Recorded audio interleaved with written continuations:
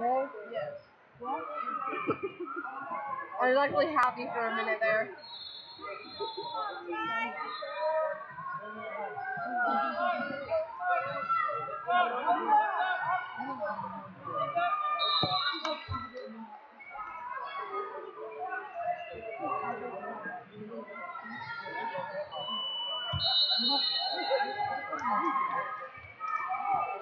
More like